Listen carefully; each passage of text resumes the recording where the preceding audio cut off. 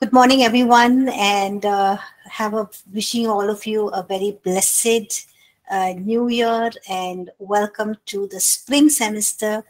Uh, I hope all of you had a good uh, holiday time, uh, a good season with family and friends, and um, all geared up for another new year to just uh, pursue God's plan, His purpose, just experience His goodness and faithfulness in our lives.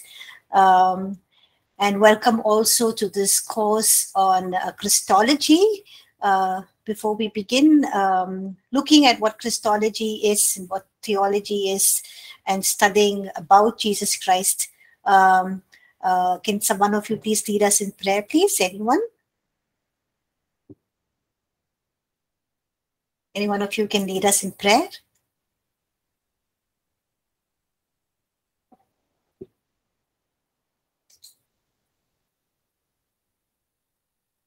Karen, can you lead us in prayer, please? Yes, Pastor. Thank you, Karen. God, our Heavenly Father, we thank you, Jesus, for this beautiful day you've given us. Thank you for the gift of life, and thank you for everything that you've been doing in and through our lives. Lord, as we sit, Lord, for this class, Jesus, help us, Lord, to understand from your word, Lord. Uh, Lord, speak through your servant to us, Lord, that we may hear your voice, Jesus. Help us, Lord, to apply this in our life, Lord. Help us, Lord, to know more about you. And I pray, Lord, that we would uh, excel in our studies, Lord, and we would uh, bring glory to your name, Lord. In Jesus' name, I Lord. Amen. Amen. Okay, um, so are you all excited about this course on Christology? Yes, no, you can unmute your mics, uh, share what are your thoughts uh, on Christology. So, what do you think we're going to be studying in this course, Christology?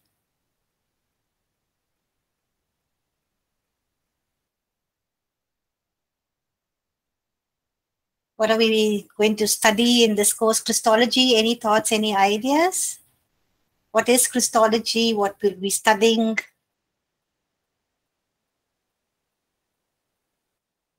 Y'all can uh, type your answers in the chat section or you can even unmute your mics and speak. It'll be nice to hear some voices.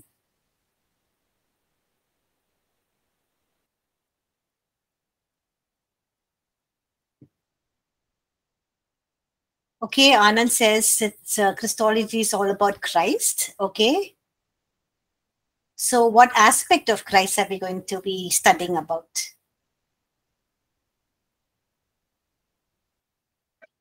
Can we have some uh, participation? Can we have some hearing some voices? Uh, some of you unmuting your mics and just speaking, sharing.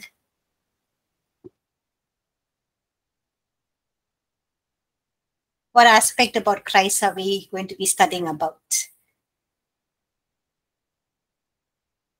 His miracles, his signs, what he did, what he preached. So, what are we going to study about Christ?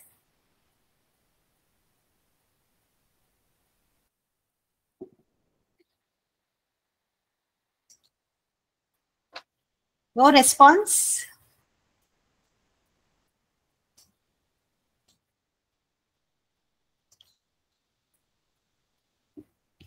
Okay, his life and who he is. Okay.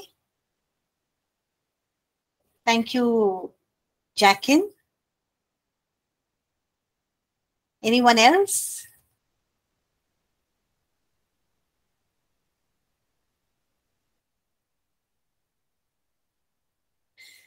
Okay, so um, we'll see what we're going to learn in this course on Christology. Uh, this course is basically designed, um, okay, Princess from beginning to end, how it's all about uh, Jesus, okay. Okay.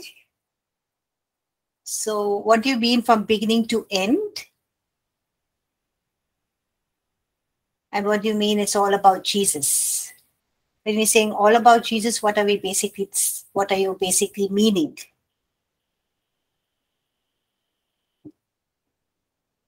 Okay, Vijay Babu says his existence.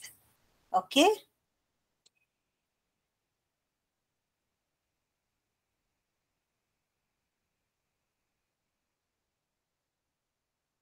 You can unmute your mics and speak.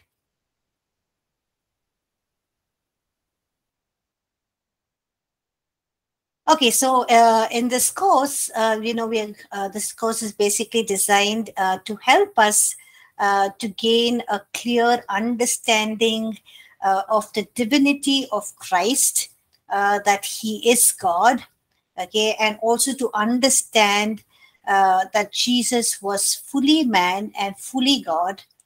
he was 100% God, he was 100% man, and how um, this uh, how jesus who is god you know how we try to understand how he was truly human uh, how he was fully human when he lived here on the earth. Uh, we also will be uh, seeing the unique nature of christ uh, that he's uh, though he was human yet he was god. So how humanity and de- deity coexisted in the person of christ uh, or how Jesus was fully God, fully man, how he was 100% God, how he was 100% man.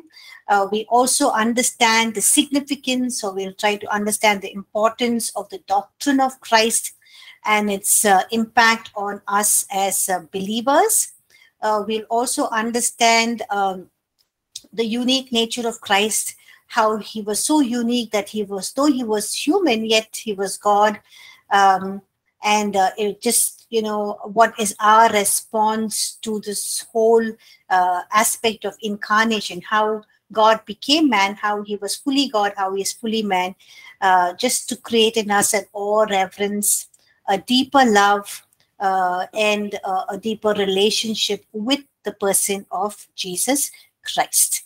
Okay so prince says it's about the prophecies and how jesus is one with god Okay, thank you, Prince. So uh, in this course, you know, we're basically going to learn all of these um, aspects about the person of Jesus Christ. We're not going to be looking deeply into his uh, miracles or his teachings, what he taught, what he did, but we're basically looking at how um, humanity and divinity coexisted in the person of uh, Jesus Christ, how Jesus was fully God and fully uh, man. Okay, so um, we're going to study this in this uh, uh, uh, course on Christology. So, what is Christology? Anyone knows what is Christology?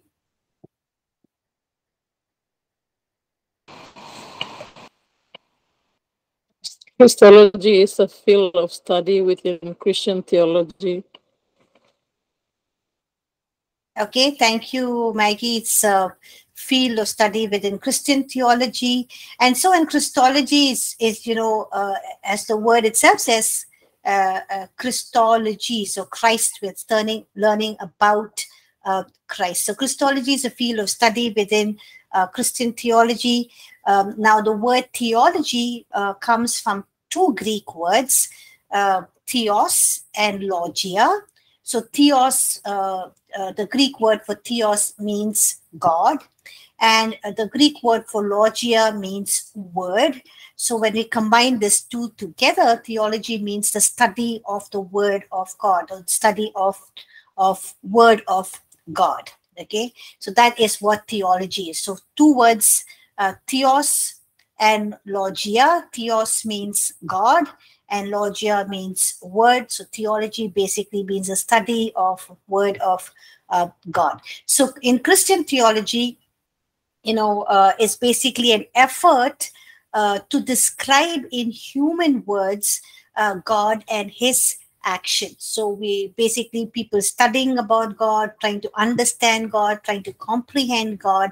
Uh, it's an effort uh, uh, uh on, uh, on on the part of us as human beings uh, to you know to describe God in human words and describe His actions as well, especially His actions in relation to the world and to um, man. And because this is Christian theology, uh, it's written from a viewpoint of those who accept Jesus as the one whom God has made himself fully known to uh, men. Okay, so that is uh, Christian uh, theology. So Christian theology is basically written from this viewpoint um, of those who accept Jesus Christ as the one in whom God has made himself fully known to uh, men.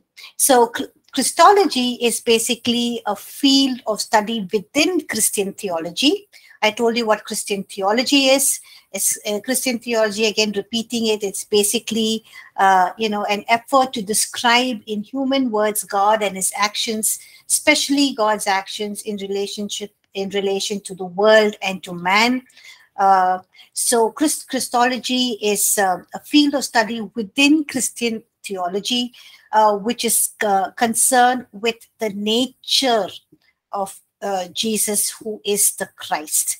Okay, uh, particularly like I mentioned in the beginning, with how uh, div divinity and humanity are related in his person, or how the divine and human are related in the person of Jesus Christ. So Christology comes from two Greek words, Christos, uh, means uh, Christ, which means the anointed one or the Messiah.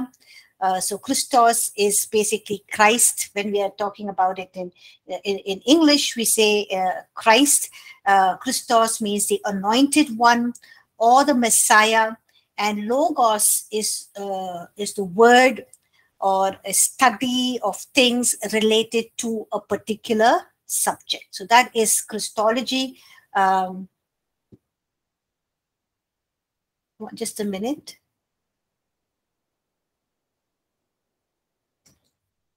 Okay.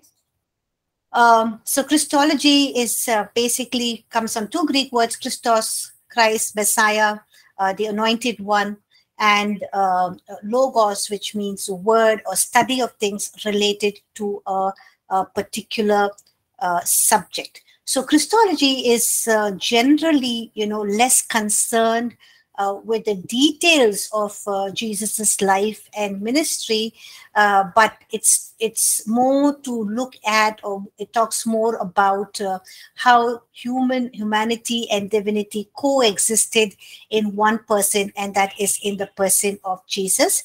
Uh, Christ. So in Christology, uh, it's basically, you know, uh, we'll be considering uh, this question that the Lord Jesus Christ asked his disciples uh, on the coast of Caesarea Philippi in Matthew chapter 16, uh, verse 13, uh, where he says, uh, Who do men say that I, the Son of Man, am? So uh, basically, in Christology, we will we're, we're, basically coming down to this question, trying to consider this question, trying to um, understand it, and um, you know, answer this question uh, that Jesus asked his disciples uh, in the coast uh, on the coast of uh, uh, of Caesarea, Caesarea Philippi uh, in Matthew chapter 16, verse 13, where he says, Who do men say that I, the Son of Man, am? So, what do you think? What was the answer of the people? When Jesus asked his disciples, what was the answer of the disciples? What did they say? Anyone remembers what do you read in Matthew chapter 16? Then Jesus asked this question.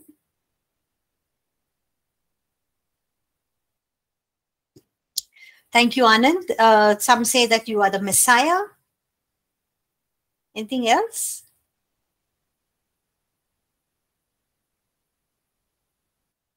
Can go ahead and unmute your mics and speak.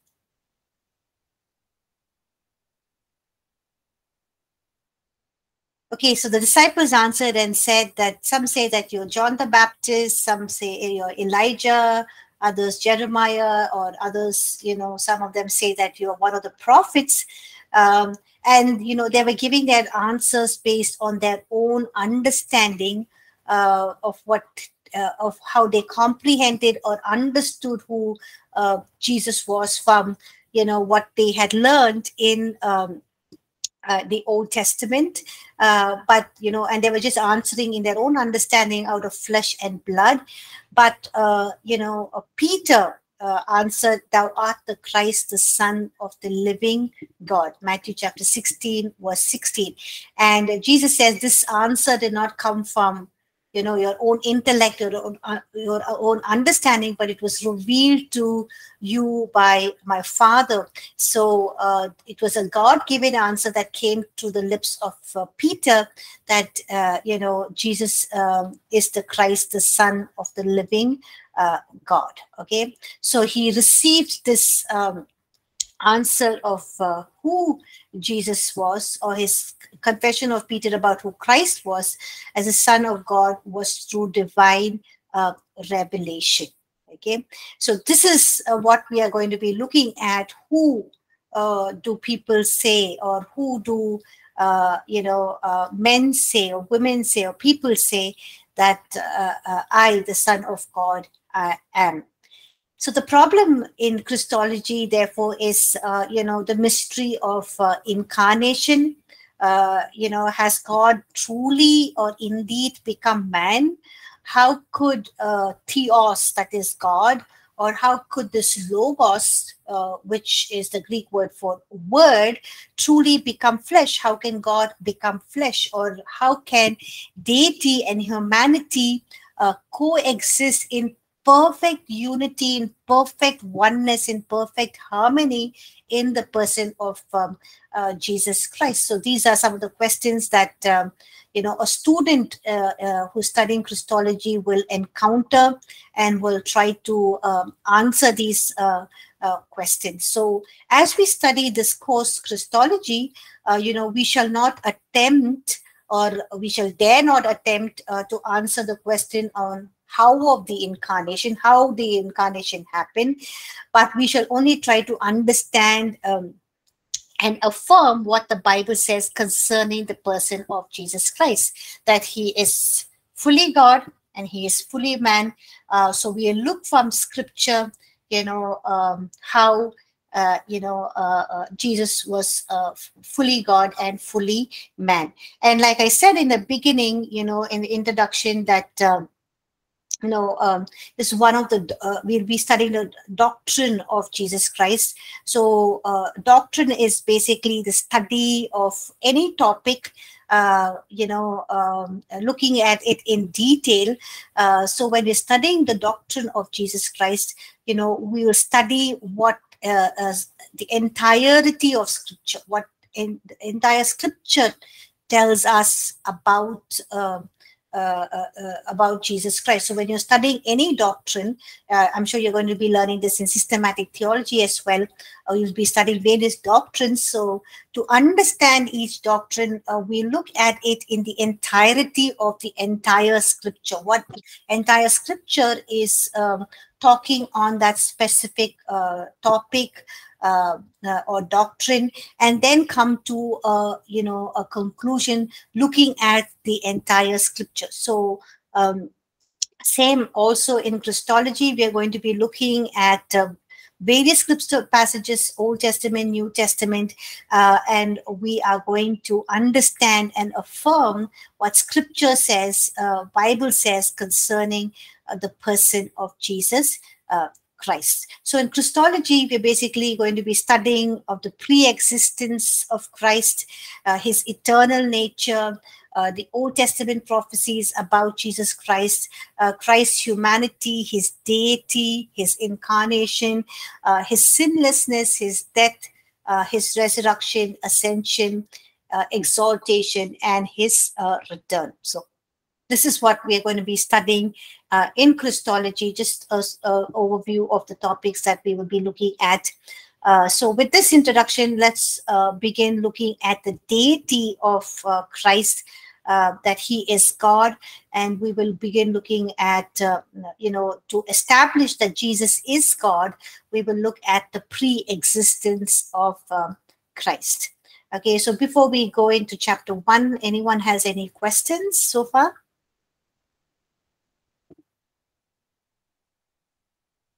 Any questions? Okay, there are no questions. Yes. Uh, so we uh, as children of god we fully believe that he was uh, fully god and fully man and we have accepted christ so my my question here is uh, what is the aim in uh, studying this in detail will it will it help us uh, to know something or what should i look forward to in a positive way in this course because we already believe about this right so is it something that for our knowledge or um, how do we see this Pastor? Uh, good question. Thank you, Jackin. So it's basically, like I said, in, uh, you know, when I was uh, uh talking about the course overview, it is uh, to just create in us a, a, deeper reverence and awe and love for the person of Jesus Christ. And also, as a student of theology, uh, you know, you would be someone who people look up to uh, even as you uh, with questions regarding the person of Jesus Christ. Was he fully God? Was he fully man? You know, um, how can you explain to them in in clear terms? How can you help them or explain to them in and show them from Scripture? Uh, you know who Christ really is. It also opens us uh, our minds to um, you know, to understand uh, uh, the person of Jesus Christ and uh, the love of God for us and what He did uh, in just God becoming uh, man, and also understanding that uh, you know Jesus, how we can relate to Him, you know, though He was uh, he was God, he became human. Why did he have to become human? How can we uh, relate to the human aspect of Jesus Christ? What does it mean to me? You know, uh, just knowing that God became man, uh, you know, and existed as a human being uh, he understands my frailties. He understands my weaknesses. Uh, you know he knows the temptations that i'm going through. Uh, he uh, he knows uh, my fallen nature. He understands me. He sees he knows what what i go through you know when i'm when i feel deserted when people leave me when people backbite talk against me or when i go through persecutions when i go through difficulties when i feel tired when I feel lonely, when I feel everyone has forsaken me, when my friends forsake me, uh, you know, just to know that there is a God who, uh, you know, uh, is not just far away, who cannot relate to me, but who has gone through all of this and who understands, who sees, who knows, and can relate to me in my um, uh, situation. And also uh, uh, to know that he was uh, completely uh, divine. Um, you know just laying down everything uh, giving up everything taking on uh, you know uh, that that uh, uh, uh, all of the attributes that make him god he he laid aside everything just to become you know a servant just to serve us. You know it also leads us to know that you know um, when we lay down our lives for christ when we give up things or you know it's not something great that we have done but there is somebody who has already done that is Jesus, um, who gave himself up who stripped himself off of all his divine attributes and took on the nature of man, became a servant, uh, uh, uh, you know, uh, even though he was equal to God, but yet he, uh, you know, he um, humbled himself. And so you know we learn humility becomes jesus becomes our role model. So you know um, just to see what he has done. And also um, you know as as a man you know how uh, he lived in the sonship glory how he gave us his glory uh, how he had the life of god in him how he gave us his life so just to know what we receive from uh, both of these uh, uh, act, uh, of this natures of God, His divine nature, His human nature, also to explain this to people, teach it to people, and basically when we are doing evangelism. You know, this is something that is a major incarnation is something that's a major concern for people of other faiths. You know, who think who look at this in terms of rebirth uh, and cycles of rebirth, uh, but how it was not a rebirth, uh, but how Jesus was fully God, fully man, and how it coexisted in perfect unity and harmony um, uh, uh, uh, with Jesus Christ. So did that help, uh, Jackin? Yes, yes, Pastor. Thank you for the detailed uh, description. It was very helpful uh, you can uh, as we go through the course we will uh, we will draw some principles some learnings for our personal life uh, that we can you know um, uh, fall back on that we can hold on to and uh, which will help us in our journey in our relationship in our walk with um, god so anand's paul question anand paul's question is so is the study all about the life of christ am i right pastor uh, yes, it's not just basically uh, when you're talking about the life of Christ, we're not going to be talking about his um, his his ministry in the sense of uh, his teachings, what he taught, and uh, um, uh, the science miracles and wonders he did. But we are basically looking at the we're basically looking at the nature of uh, um, uh, Christ, how humanity and deity coexisted in the person of Jesus Christ. So we look at how Jesus was fully God, uh, how he's fully man, and also we will be looking at, um, like I just mentioned, you know, we'll be studying about his uh, sinlessness, his death, resurrection, ascension, exaltation, and his return. Did that help, Anand?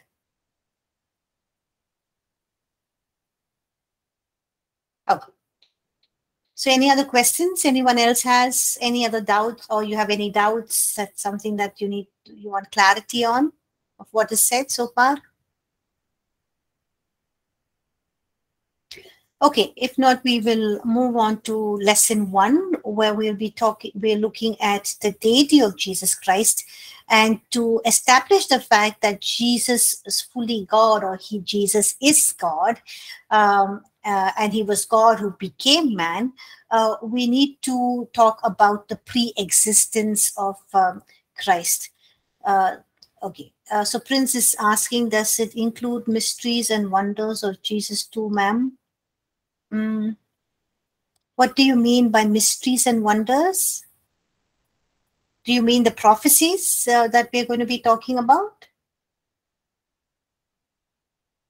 Or uh, the mysteries or revelations of God's word, what he spoke.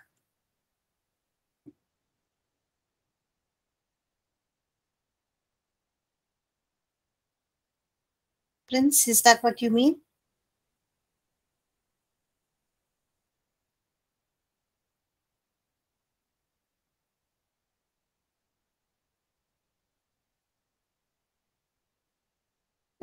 Okay, so uh, basically, maybe just to help you answer that question. Uh, so you're saying uh, mysteries of his revelation, what he taught. No, we're not going to be looking at uh, you know what he taught or preach and trying to understand that, but uh, we will just be looking at. Um, uh, yes, the the whole mystery incarnation is a mystery in itself. How you know humanity and deity mm-hmm. existed or in perfect unity and oneness uh, in the person of Jesus Christ. Yes, it uh, it's a mystery to us. is uh, is wonderful uh, uh, of uh, you know God's divine plan of redemption of salvation. Um, but even as we're going to be looking at it, it's not going to be a mystery for us because we will be studying it in depth, and so we will be able to understand uh, things uh, and get more clarity on it. Yes it it's it is uh, uh, incarnation is something that will still remain mysterious something that is wonderful uh, but something that you know we can um, uh, that god has revealed to us to the extent in his scripture that we can understand what we need to know about god yeah that does help does that help prince?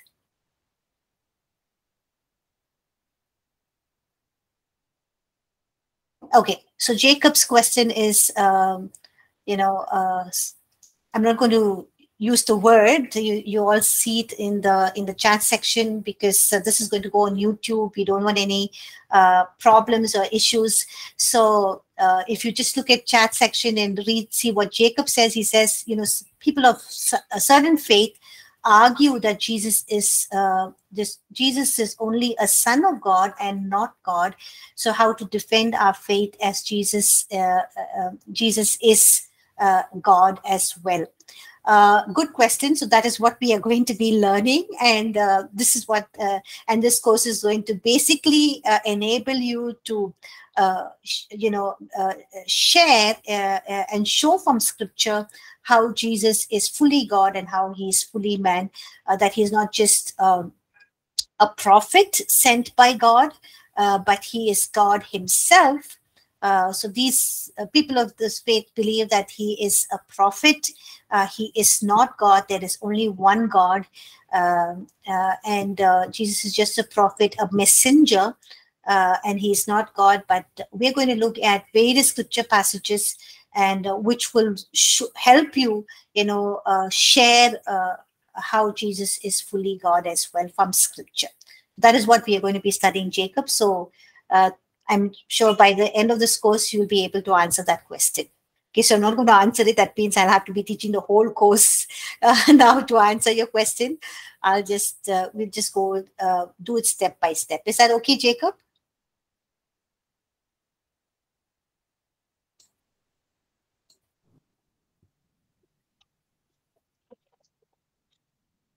Anyone else has any questions? Okay. Uh, we look at chapter one, uh, the pre-existence of Christ. So basically, uh, in chapter one, we are going to be establishing the fact that Jesus is um, uh, God, not just in chapter one, but we'll be also looking uh, in chapter two, uh, where we'll be studying about, you know, how proving that Jesus is God with his equality with the Father, God the Father, and God the Holy uh, Spirit, also proving that he is God, that he is deity, uh, by talking about his role in creation, uh, which we will be looking in um, uh, chapter three, and um, and you know uh, the Old Testament prophecies of the uh, coming of the of Jesus Christ, this incarnation that is God taking on human form, which we'll be talking in chapter four which is all basically uh, you know grounding us in the fact or showing us or helping us to prove from scripture that jesus is uh, god. And then chapter 5 of course we'll be trying to understand what is incarnation. And then we'll go ahead to look at the humanity of uh, uh jesus christ okay so chapter 1 um, where we'll be studying about the pre-existence of um, uh, Christ. So, what uh, uh, what do you understand about the pre-existence of Christ? So, what can you quote some scripture verses, passages that uh, prove to us that Jesus was not just you know existed when he was when he was, was born on this earth, but uh, that he existed before even time began, even before the creation or the foundations of the world, that he was a pre-existent, that there was never a time when he he uh, he was not there'll never be a time when he will cease uh, to exist that he always was he always is and he will always uh, be. So anand says john chapter 1 verse 1 uh, prince john chapter 1 verse 1 yes anyone else has any other scripture references uh, which talks about thank you anand and prince uh, that's good anyone has any other scripture references that prove to us that uh, that Jesus is pre-existent. Okay, Revelation chapter 19. Okay, so can you specifically tell us which verse or uh, we can all open our uh, it's good to all, all of you to have your bibles with you because we're going to look at a lot of scripture passages uh, because we're going to be establishing from scripture uh, because Christology is a doctrine we're going to be establishing from scripture. So we'll be looking at scripture. Very important for all of you to please uh, uh, look at, uh, have your Bibles in front of you and turn to scripture. So, uh, Prince says, Revelation chapter 19, verse 13, he was clothed with a robe dipped in blood, and his name is called the Word of God. Okay, thank you. Uh, Genesis chapter 1, verse 2, very good, Anand. Um, so, what does Genesis chapter 1, verse 2 say? Can says the earth was without form and void and darkness was in the face of the earth and the spirit of god was hovering over the face of the waters. Okay that is talking about uh, um, the holy spirit. Okay uh, genesis chapter 1 verse 1 in the beginning god created the heavens and the earth. So jackin uh, i can say that uh, if i was you know a nominal christian church going Christian, I would say this is talking about God the Father. Where is it mentioning about the Son?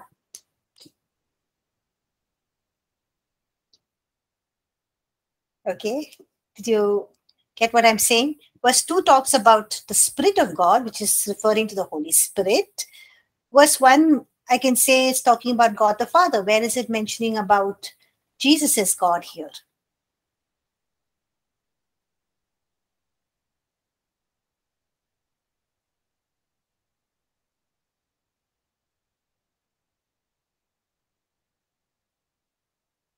Anyone else? Any other scripture?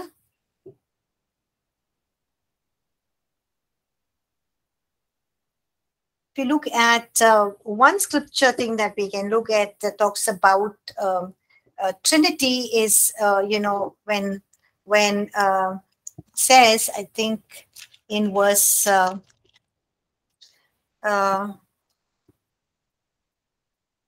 uh, uh, uh, 26 of Genesis chapter 1, it says, Then God said, Let us make man in our image.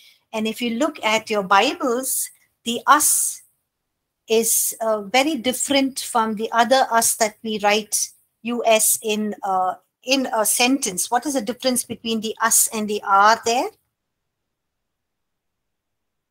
What is the difference between the word us US and the OR, OUR written in Genesis chapter 1, verse 26.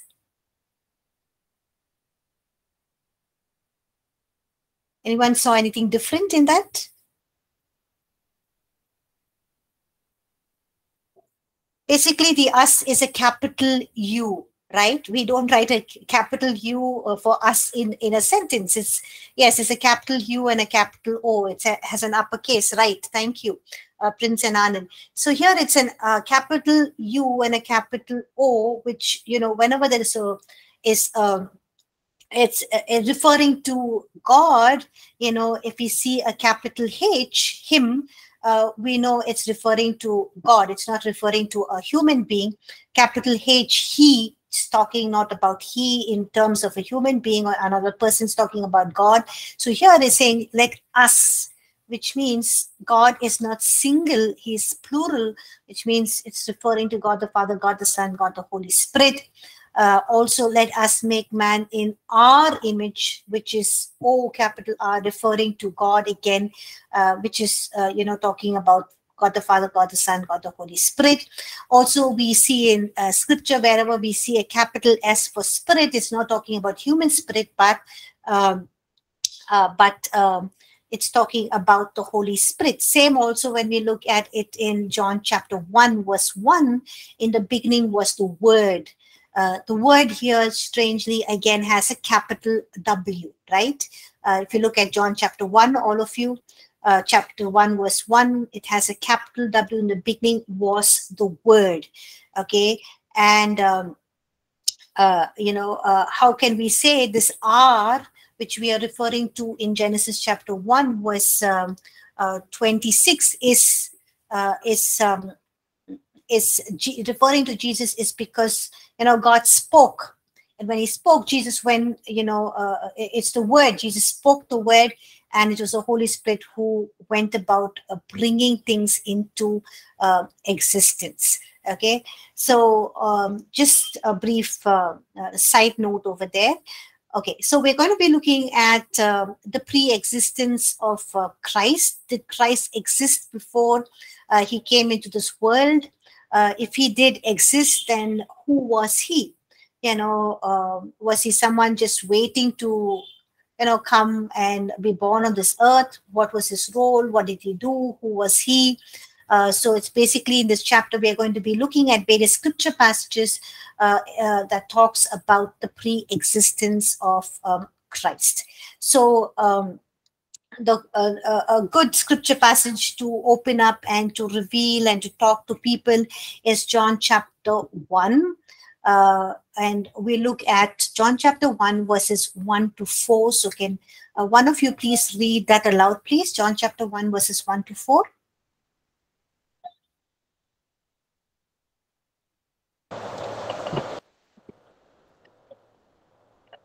John chapter 1, verse 1 to 4. In the beginning was the Word, and the Word was with God, and the Word was God. He was in the beginning with God. All things were made through him, and without him nothing was made that was made. In him was life, and the life was the light of man. Is the word of the Lord. Thank you. Amen. Thank you, Maggie. So here we see that in uh, if you look at uh, the word word, it starts with a capital W. Uh, in the beginning was the word, and and the word again, capital W, is referring to Jesus Christ, and the word was God. He was in the beginning with God. All things were made through him, capital H, which is referring to God again, and without him, capital H talking about God, nothing was made that was made.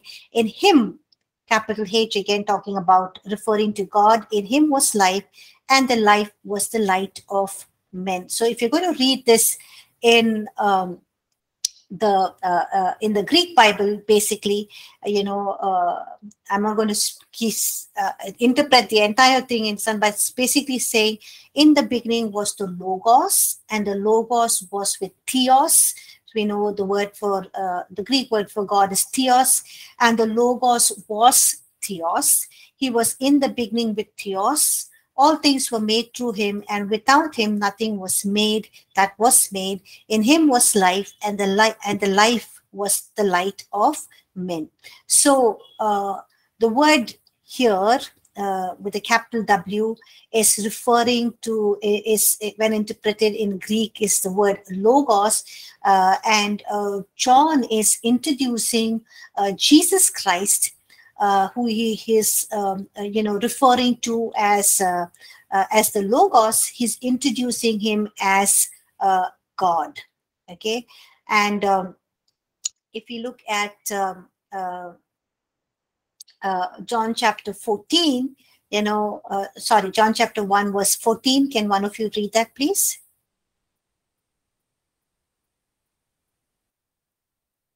John chapter 1, verse 14.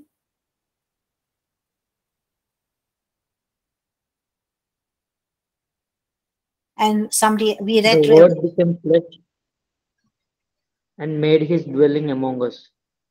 We have seen his glory, the glory of the one and only, who come from the Father, full of grace and truth. Thank you, Prince. So here we see that the Logos became flesh. So, you know, John very beautifully introduces in uh, verses 1 to 4 that the Logos uh, is God. He was with God. Uh, he was with God in the beginning uh, and also proves that how he is God. He created everything. Uh, without him, nothing was made. Uh, he has the life of God. Uh, and in verse 14, he, he is going on to very beautifully uh, introduce this Logos as someone who became flesh and who came and dwelt or lived among us. And we were able to beheld his glory uh, which is the glory of the only begotten of the Father, full of grace and uh, truth. So here again, we see that we beheld his glory, which is a capital uh, H. Um, also, as uh, I think uh, Anand had uh, uh, you know, given the Prince had given the reference of Revelation 19, verse 13. His he was clothed with a robe dipped in blood, and his name is called the Word of uh, God. Okay, so again, the word is a capital W, uh, referring to uh, Jesus. Now, why does uh, John, you know, uh, uh, introduce Jesus as the Logos? Why does he use this word Logos? Why can't he just basically say in the beginning uh, was Jesus Christ, and Jesus Christ was with God, and Jesus Christ was God, and he was in the beginning with God, and you know, continue writing like that. Uh, and Jesus became flesh and dwelt among us. But why does he use this you know, he uses this word word, or why does he use the Greek word uh, logos? Anyone has any uh, understanding? Ever thought of it? Why did the Apostle John you know, introduce Jesus as the logos?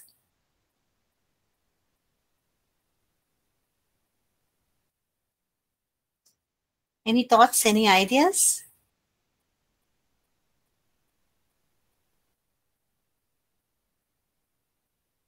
Okay. Uh, so the Greek word logos in uh, maybe to let uh, the Jews know that all the scriptures itself were Jesus or about Jesus. Okay, uh, to let the Jews know that all the scriptures uh, itself were Jesus or about Jesus or talking about Jesus. Okay, thank you. Anyone else? He was a fulfilled prophecy foretold. Okay. Do we have any prophecies uh, regarding the word becoming flesh?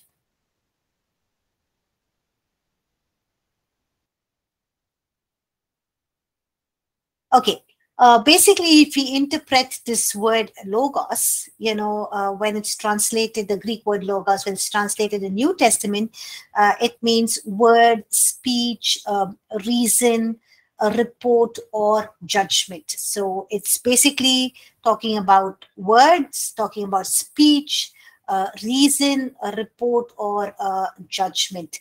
But uh, when we look at this word logos, um, or this use of this word logos in its uh, in a historical Jewish setting, uh, we see that it had a much richer uh, meaning. So uh, Heraclitus, uh, Heraclitus, a Greek philosopher who lived in 6th century BC, he defined logos as an he used this word logos and he referred to this logos as an eternal principle which gives divine order to the uh, universe. So basically, philosophers trying to understand about God, who God is, and uh, about how the world came into existence and everything.